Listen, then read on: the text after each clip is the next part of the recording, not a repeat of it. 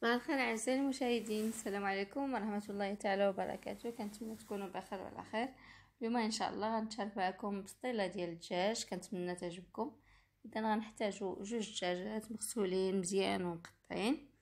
البصلة مقطعة طريفات صغار. وبالنسبة للتوابل معلقة ديال الملحة شوية ديال البزار شوية الكركم كذلك معلقة صغيرة من القرفة وسكينجبير وعندنا كذلك كأس ديال الماء. غنبداو على بركة الله طريقة التحضير. غادي ناخدو طنجرة وغادي نديرو فيها توابل.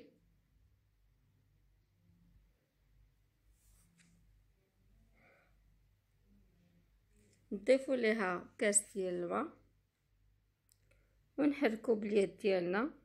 تيذوبوا لنا دوك التوابل ونساجموا مع بقياتهم بهذه الطريقة. والآن غنبداو نضيفو في الدجاج وندخلو ليه الاقامه بهذه الطريقة.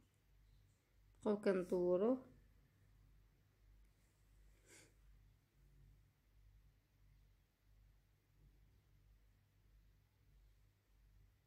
تنكملو جميع القطع ديال الدجاج.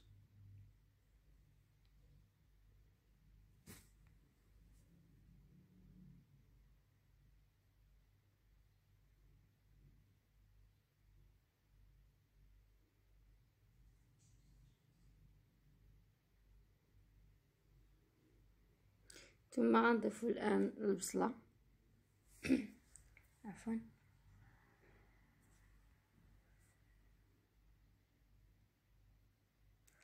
ونغطيو عليها نخليوها كتقلى.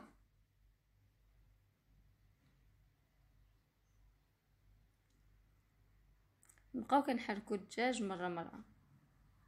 إذا كما كتشوفوا ها هو بدا كيطيب لينا الدجاج. وندوزو المقادير الأخرى. كنحتاجو عشرة ديال البيضات القليل من الربيع وربع كأس من مزهر. كذلك ورقة ديال البسطيله واختياري كيبقى إلا بغيتو المشماش مقطع نعسلوه عندنا مية غرام الزبده مية غرام ديال السكر كلاصي نص كيلو ديال اللوز اللي سلقته وحيدت ليه القشرة وغادي نقليه إن شاء الله. عندنا البصلة مقطعة على حسب عدد الأفراد وكذلك الدجاجة عفوا جوج دجاجات اللي طيبناهم ما غنفرتوهم من بعد. إذا القامه أو البلول اللي طيبنا فيه غادي نضيفو ليه البصلة. بعد ما حيدنا الدجاج البصلة وكذلك الربيع ونخلطوهم. ثم نضيفو ملعقة كبيرة من الزبدة ومزهر.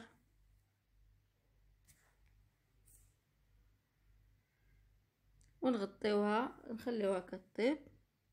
والآن غادي نضيفو شوية ديال السكر كلاصي ونخلطو ملعقه كبيرة.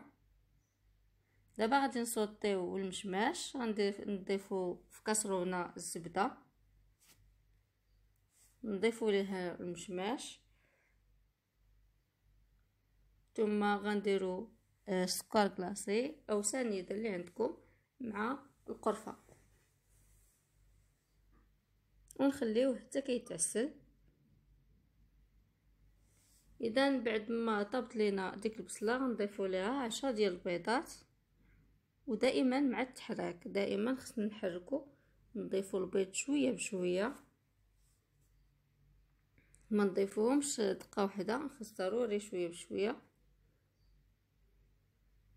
ونبقاو كنحركو حتى كنطيبو داك البيض حتى كينشف ما كيبقاش هكاك مية.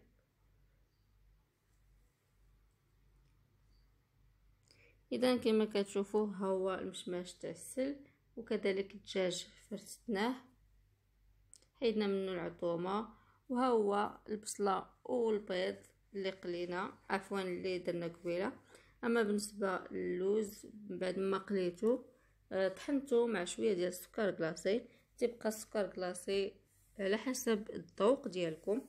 واش كتبغيو آه، البسطيله حلوة أو آه، قليلة من الحلاوة. وها هي ورقة البسطيلة فرزتها وحدة بوحدة وضفت ليها شوية ديال الزيت.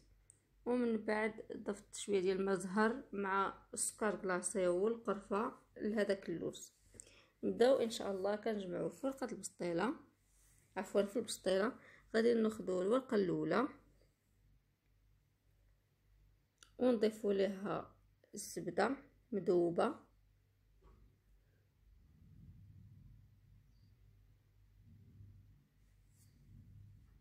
ثم الورقه الثانية. دائما كنخليو النص ديال الورقة باش نجمعوها. نخليوها فوق البلون دو طرافاي بهذه الطريقة كما كتشوفوا.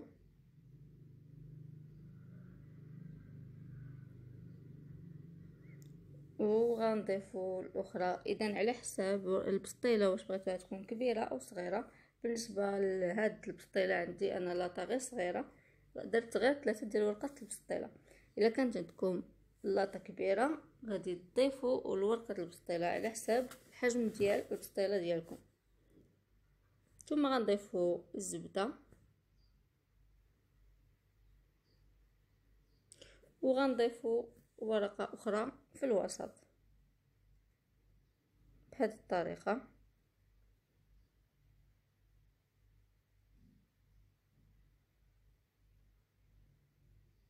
ودائما الزبدة مذوبة ندهنو بها.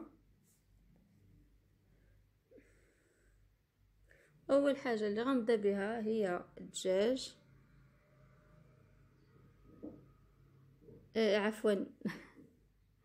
البيض البيض والبصلة.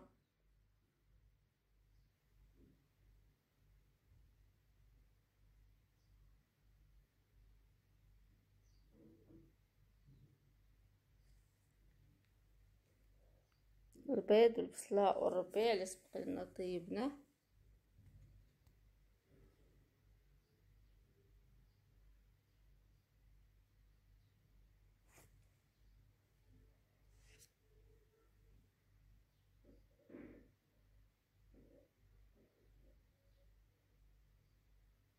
كما كتشوفوا بهذه الطريقة. والآن غنضيفوا الدجاج.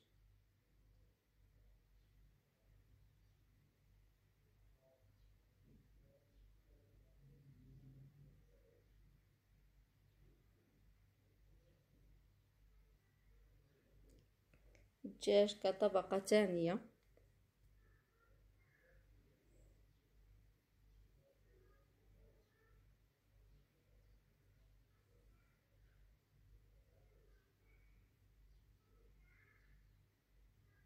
وبعد ما كملت الدجاج غنضيفو المشماش معسل. كما قلت لكم المشماش معسل كيبقى اختياري إلا كان عندكم موجود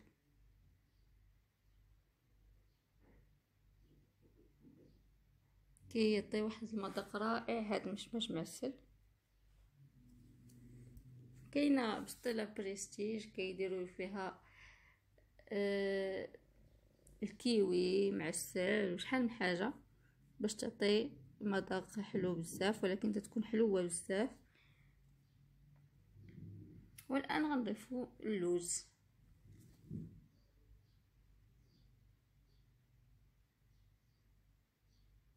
كطبقة أخيرة كما كتشوفوا بهذه الطريقة. ثم غنبدا كنطوي غناخد أول ورقة اللي درت في الأول. هي اللي غنبدا كنطوي بها بهذه الطريقة.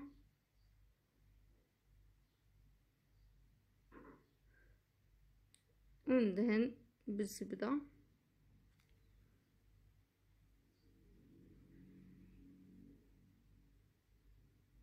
نبقى كنجمع في الورقة.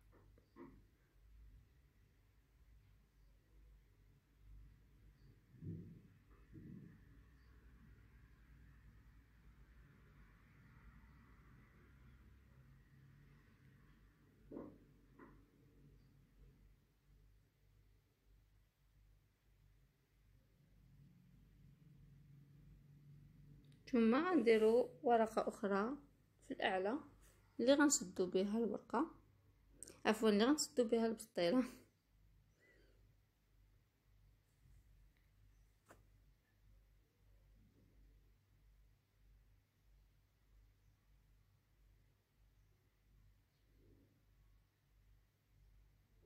كاين اللي كيكثر ورقة البسطيلة ولكن ما كتجيش زوينة من الأحسن. نديرو فقط هاد الأوراق ما نكثروش من ورقة البسطيلة. ثم غندهن بالبيض من الفوق اللي طربتو الصفر ديال البيض.